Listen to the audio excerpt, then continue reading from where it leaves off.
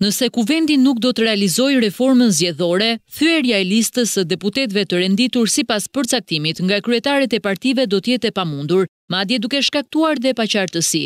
Gjykata Kushtetuese ka shfuqizuar formulën e llogaritjes së herësit, duke e konsideruar atë të lartë, por duke e lënë në fuqi si skemë. Vendimi ka vënë në lëvizje Këshillin e Legjislacionit, i cili nga ana e tij ia faturon çdo gjë Komisionit të Posaçëm.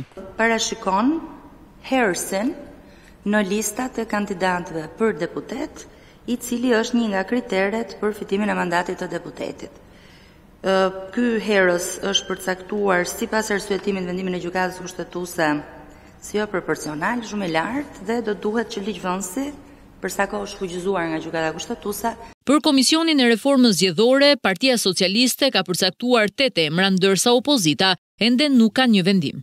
Ndryshime kërkohen dhe për pragun elektoral për kandidatët e pavarur, të cilët tashmë do të marrin mandate nëse arrijnë votat e duhura në qark. Pra s'duhet të ketë një prag kombëtar për kandidatët e pavarur për deputet, kështu që është shfuqizuar neni përkatës në lidhje me këtë çështje, t'i kalojë për shqyrtim atij komisioni. Edhe opozita i qëndron të njëjtit mendim, por ngre shqetësimin mbi ngërçin e votave të Gjykatës Kushtetuese për rastin Beketi. Trajtimin e çështjes së ngritjes së Komisionit Hetimor për çështjen Beketi, Gjykata Kushtetuese ka shprehur vendimmarrjen e saj në një raport katër me tre, nëse s'gaboj. Komisioni vendosi të kërkojë dhe rishikimin e ligjit për noterinë, teksa po me rekomandim të Gjykatës Kushtetuese u theksua se ligji i kompensimit të pronave është propozuar të rishikohet prej Qeverisë.